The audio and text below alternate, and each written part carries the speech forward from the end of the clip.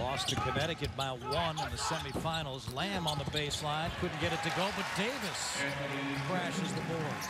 Even slightly, it's only slightly afternoon. You give up your body for the team. Teague, great feed down low, and a great finish by Anthony Davis. He's got four. Well, better control that time. Kentucky. Teague likes to get into the lane this time, the drive and dish to the big fella. Advanced Butler and sent ODU home, but they had a tremendous year last year, 27 wins. Cooper got his shot blocked again. On for a long, long time. Great programs.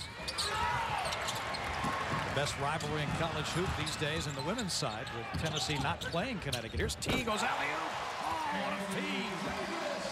Anthony Davis in sync with Feel here as the game moves on of where the gaps in the zone are.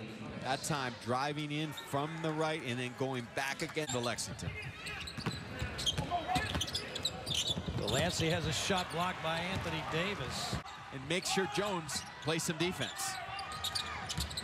Kidd-Gilchrist again in the paint, trying to alley-oop.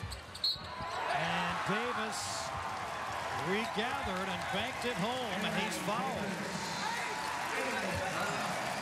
Sees that he's in trouble here defensively, but offensively, Anthony Davis is a presence as well, not only around the glass on the first play, but on the follow-up.